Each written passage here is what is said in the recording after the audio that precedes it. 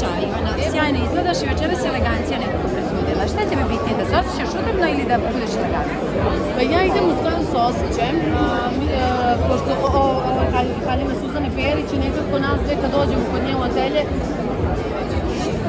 kako krene osjećaj, kako izaberem. Nemam ni ne, nešto sad kao posebno da, da, da mozgam, da ovo da ono, svakako moram da se osjećam udobno. Mislim, ja nisam jedna od onih da, da za lepotu treba trpeti, stvarno ne mogu. I onako u kolima uvek imam patike da se preobujem, tako da, uh, šta znam, izaberem ono što, u čemu se dobro osjećam, šta mi instinkt u tom trenutku kaže da je dobro. A je li ima uzbuđenja, recimo, pred ovakve događaje, onako ceo dan neke pripreme, ili to kod tebe ne postoji? Ne, on, pošto sam predugo na stolicama uh, za spremanje, što za serije, što za filmove, što za predstave, ne, nemam strpljenja, ni za što.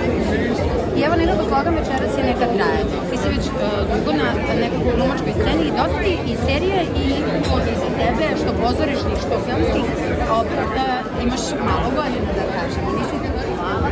I ko je, ko, ko je tajna tvojeg trajanja?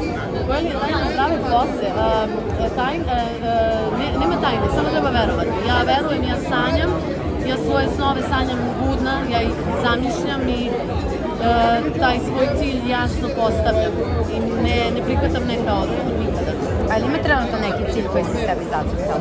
Neki svoje cilje. Možda neka uloga? Uh, sve, sve što, uh, sve što se tiče uloga, sve koje sam poželjala, neko su mi se dogodilo. Hvala.